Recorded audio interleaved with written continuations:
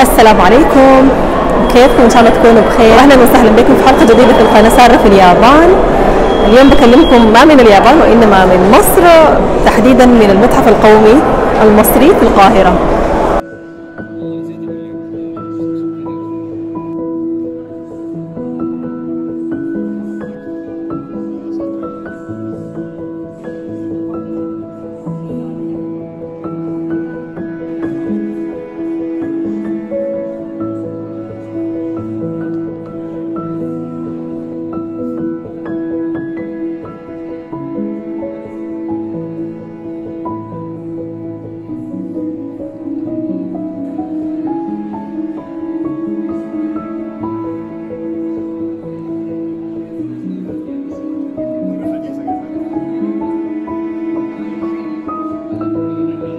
صح؟ والله بدأت تظهر الألوان هنا.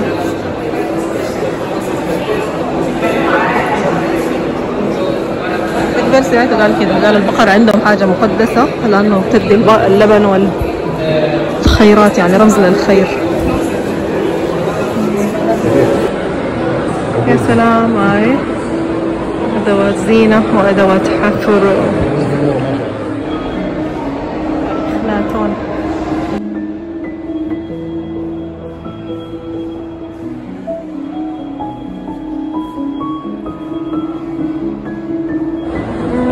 الخشب دي القبور بتاعتهم كده يعني؟ أيوه. ضيق في كده بعدها ده أيوه. دخلوه هنا بعدين. حاجة أكبر. بعدين آخر شيء الصندوق الكبير ده.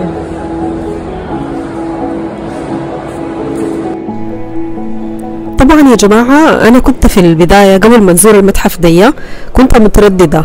الصراحة إنه هل بيستاهل الزيارة ولا لا؟ لأنه كان في الوقت ذاك نهاية شهر 8 اوريدي جزء كبير من يعني التماثيل أو المحتويات بتاعة المتحف نقلوها للمتحف الجديد. فكنت شاكة يا ربي هل بيستاهل الزيارة دي ولا لا. لكن يعني بصراحة انبهرت يعني من كمية الحاجات اللي لسه موجودة. هم أنا فهمت إنه نقلوا الحاجات الكبيرة خالص يعني أو الحاجات. الآثار المهمة شديد. وبينقلوا تدريجي... تدريجيا طبعا يعني. فبرضه يعني المتحف الحاجات الموجودة فيه كانت كثيرة خالص ويعني بياخد وقت عشان الواحد يعني إذا عاوز يشوف فعلا كل ركن فيه ويقيف عليه بياخد ما أقل من ساعتين يعني. فأنا هنا طبعا في الفيديو ده بس يعني ده جزء من الحاجات اللي صورتها. بس عشان ما حبيت الفيديو يكون طويل شديد عملت لقطات يعني جولة سريعة ولقطات ما ما كل الحاجات اللي أنا شفتها فعلا.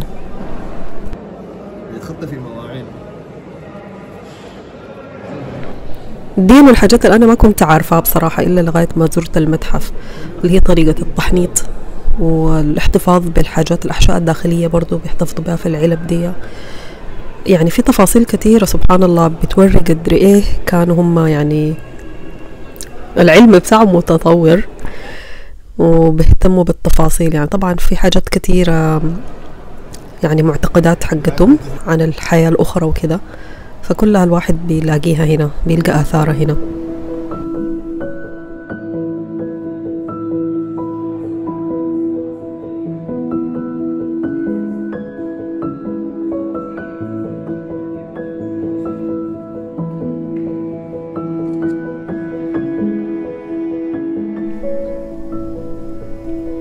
طبعا كل الآثار دي هم كاتبين عليها يعني نبذة باللغة العربية وبالإنجليزية. وكمان في مترجمين بالمناسبة في يعني من من المدخل بتلاقي مترجمين إنجليزي فرنسي أسباني وغيره يعني في لغات كثيرة إذا الواحد عايز.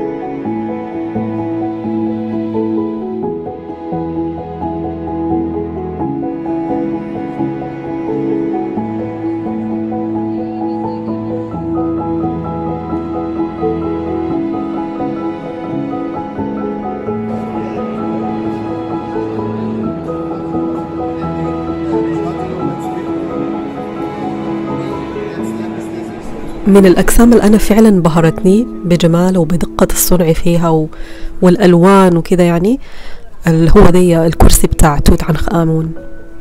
زي ما شايفين هو من الذهب الخالص وفيه عدد من الحيوانات يعني نسر وثعبان وأسد وحاجات تانية يعني. المهم يعني سبحان الله الواحد قدر ما يشوف الحاجات دي في الصور ما نفس الإحساس لما يشوفها كده في الواقع يعني. فالمهم لو مشيتوا القاهرة لازم تخطوا المتحف دي في الجدول بتاعكم. في كمان قسم كامل يعني بتاع توت عنخ آمون من هو طفل صغير لغاية يعني هو شاب. الممتلكات بتاعته والزينة اللي كان بيستعمله كده لكن المكان ممنوع فيه التصوير. لكن بجد يعني حاجة مبهرة.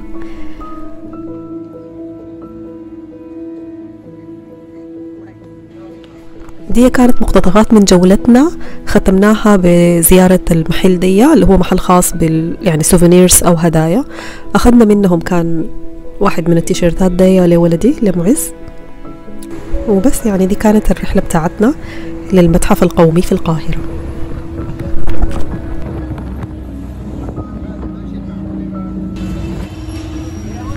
دي في يوم تاني كنا ذهبنا لمنطقة اسمها كرداسة.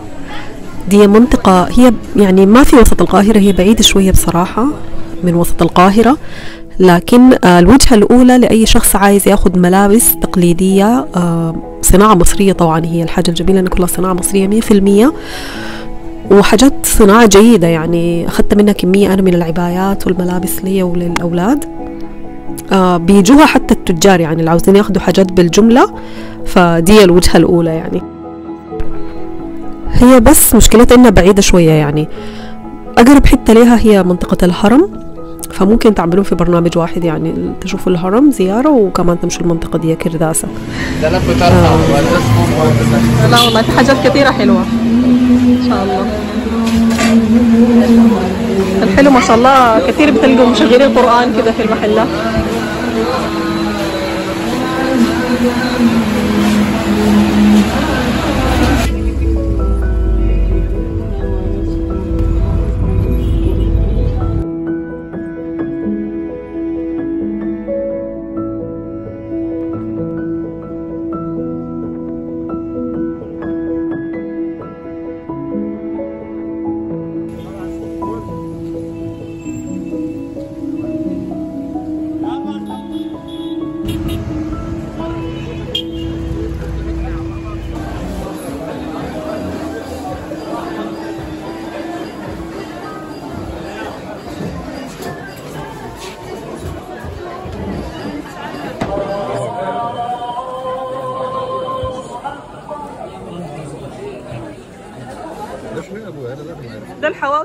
يا جماعة أنا من هذا المنبر حابة أحيي وأشكر صاحب الأوبر الدلانة على المطعم دي مطعم صبحي كابر إحنا بس كنا ركبنا مع صاحب أوبر مرة وقلنا له عايزين نمشي مطعم رشح لنا واحد.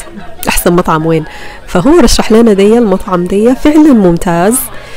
يعني مش بس إنه الأكل بتاعه لذيذ خالص وكده لكن حتى الجلسة بتاعته حلوة خالص. يعني ال- الواحد بيمشي بحس إنه في جو يعني جو من البهجة الواحد بيجي معنوياته مرتفعة باختصار كده يعني. وال يعني اسعاره مناسبة جدا بالنسبة للمستوى و... و... والقعدة يعني وكده بجد حلو شديد. فبجد استمتعنا اليوم ذاك الحمد لله. كانت أول مرة لينا نطلع كأسرة يعني بعد ما أبوي عمل العملية الحمد لله. كان يوم جميل جدا. الستاف نفسهم يعني العاملين في المطعم بجد لطيفين خالص وتعاملهم حلو شديد معاهم واو. بقى عشان كده ايمن طيب ايمن ايمن صور اعمل كده صورنا معاهم شكرا شكرا شكرا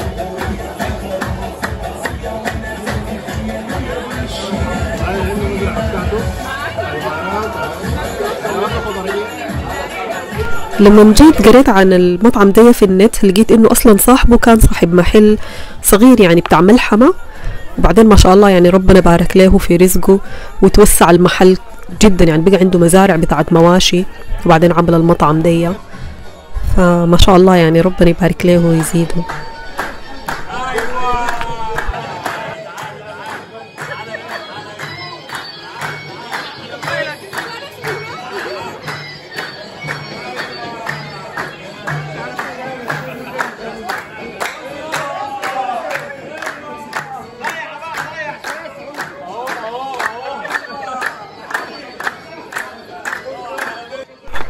دي كانت حلقة اليوم صورت لكم فيها مقتطفات من أماكن مختلفة من زيارتنا لمصر شهر 8 الفات 2022 من المتحف القومي في القاهرة وبرضه من كرداسة وأخيرا في مطعم آه، صبحي كابر في شبرا. أتمنى تكونوا استمتعتوا بالحلقة.